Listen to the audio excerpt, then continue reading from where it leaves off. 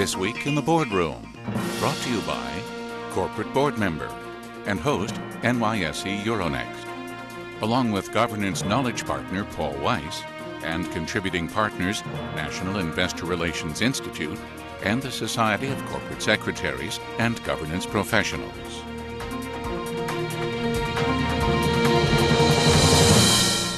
Welcome to this edition of This Week in the Boardroom. I'm TK Kerstetter with Corporate Board Member, and it's my pleasure to welcome you back. And we decided this week to take a look at doing a sort of Washington, D.C. regulatory update.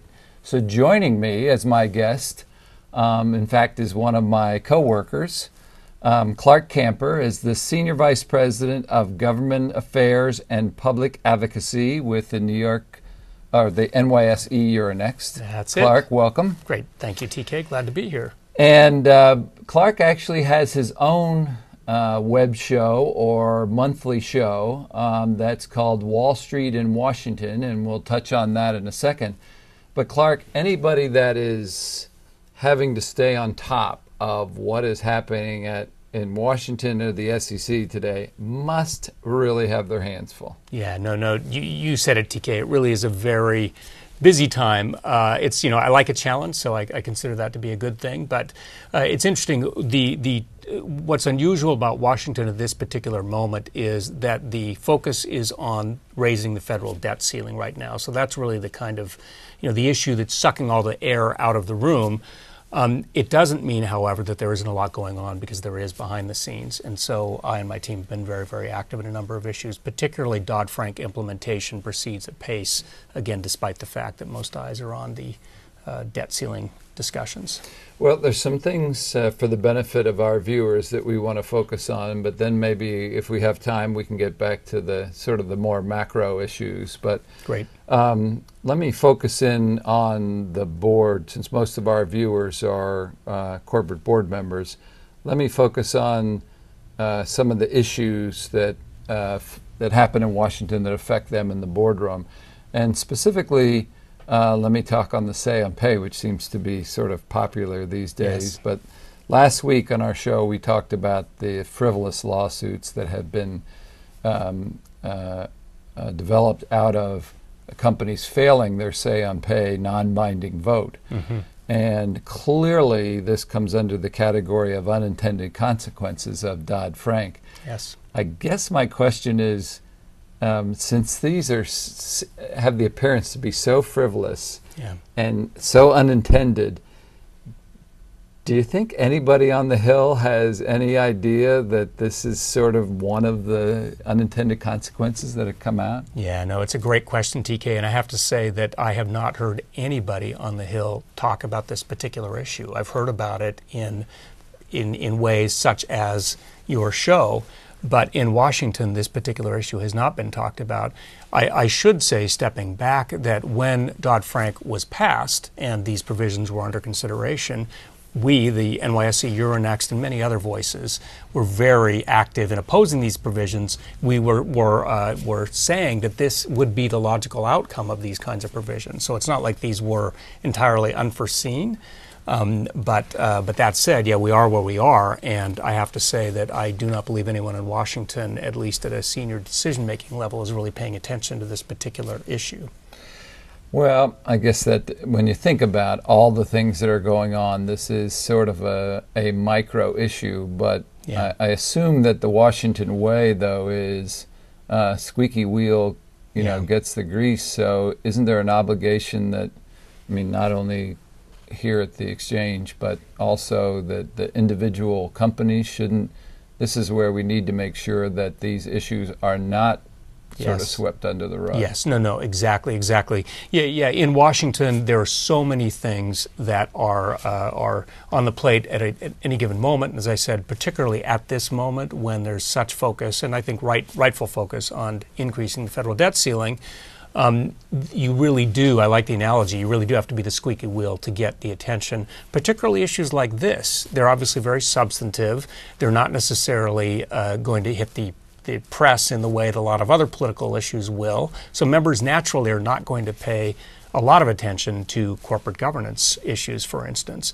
That is why, as you say, it is incumbent upon uh, individual companies and uh, as well as us to be out there punching on these issues and making sure that they are indeed brought to the attention of, of our representative uh, members. Well, let me let me bring up another micro issue that might be micro in its form, but is probably nothing more emotional than this issue to our viewing audience, and that mm-hmm. is accountability of the proxy advisory uh, firms. Yes, this indeed. is sort of indeed. Review that has been promised by the SEC, and I know yes. they've asked for comments, and there's been a lot. Can you give any feel for where that might be on agenda? Because yeah. I know their plate is full, they're underfunded. Right. So where do we stand with yeah. that today? Yeah, here I here I would be more, uh, at least a little more optimistic.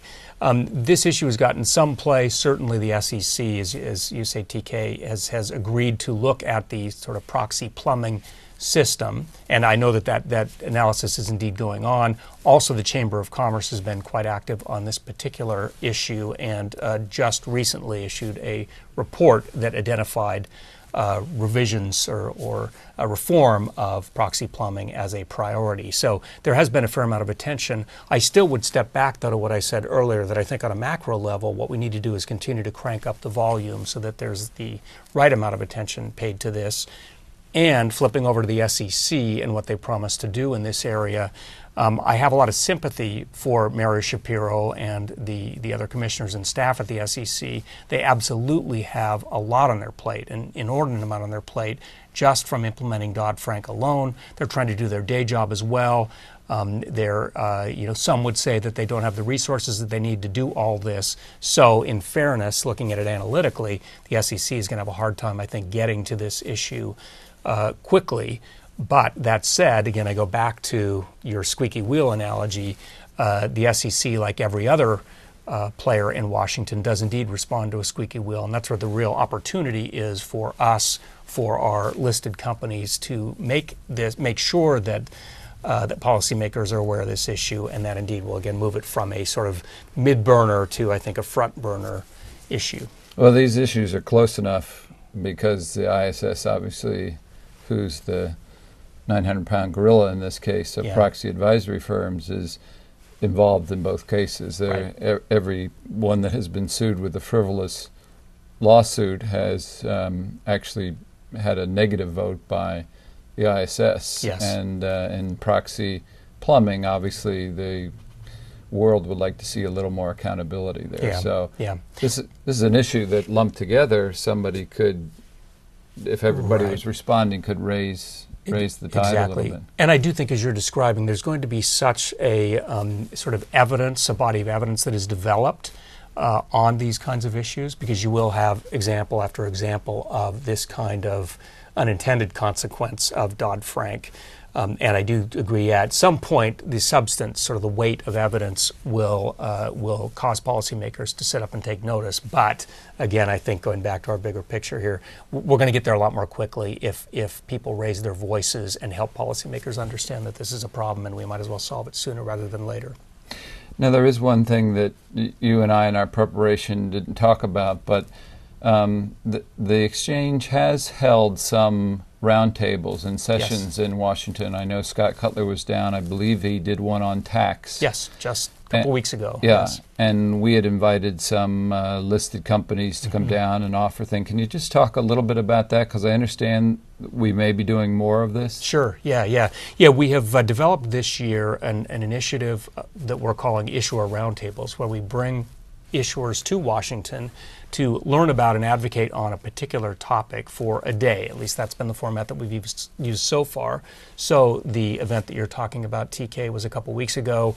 We focused on tax. We had about 25 listed companies join us in Washington for a day, and they were they were almost all very senior level executives who joined us. And we spent a day meeting policymakers on the Hill and in the administration, learning about tax and advocating on tax as well. Um, it was, I think, a very, by people who participated, it was an extremely substantive and, and frankly, eye opening. Uh, experience because again you learn that as uh, as a, a, a company uh, that may, may not be as familiar with the ways of Washington, you realize that just showing up and, and sharing your experience and knowledge, you actually can, can get a lot done. So, so we did that with regard to tax earlier in the year. We did a roundtable on uh, on uh, capital formation, and then we did a separate roundtable on job creation as well. So we will continue those throughout the year, and again, we're always uh, evolving and fine tuning those, but it is part of our larger effort to be a voice for our listed companies in Washington. Two questions. First of all, or two, yes, questions of you. Where would somebody find your Wall Street in Washington if they were interested in viewing your monthly update on that? Right. And second of all, um, if somebody that is a listed company is interested in participating in the roundtables, is there some place that they can sort of reach out and say, Certainly. hey, I'm interested in, in doing that? Yeah, absolutely. So, Wall Street in Washington, if you go to the NYSE homepage, so either nyse.com or nyx.com, uh, you will find me actually on the on the homepage there, so you can click on the link. Um, and my contact information is there. But to answer your second question about the uh, how, how, to contact me to get or, or anyone on my team to get involved in our roundtable or other activities, probably the best is to send me an email, and that is ccamper at nyx.com. Just C C A M P E R at nyx.com. And we'll take it from there. Clarke, we have about a minute and a half. Uh, see if you can summarize the macro issues in a, uh. in a minute and a half. well, I'll try to. I do think that, uh, again, the focus in Washington is rightfully on increasing the debt ceiling and also, hopefully, in trying to get some sort of a grand bargain in terms of a, a meaningful reduction in federal spending there's another opportunity for listed companies to share their voices or to, to, lend their voices because, again, there are a lot of the usual suspects in the room arguing uh, politicians, uh, economists, and the like. What is missing oftentimes is a business voice, and there's a real meaningful opportunity for people to get involved there. I will say, too, there's one other area that I would encourage listed companies to focus on, and that is the derivatives regulations that are being implemented by the CFTC. And those regulations are mandated by Dodd Frank.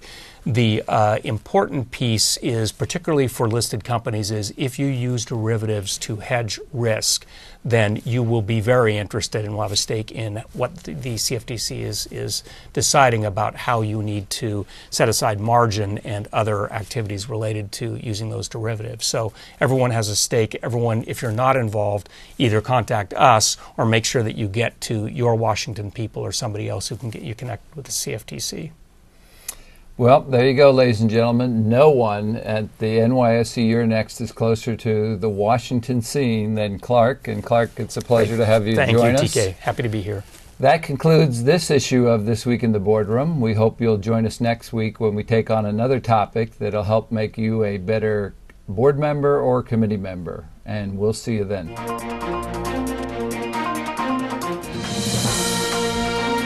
Join us again next week for this Week in the Boardroom, brought to you by corporate board member and host NYSE Euronext, along with governance knowledge partner Paul Weiss and contributing partners National Investor Relations Institute and the Society of Corporate Secretaries and Governance Professionals.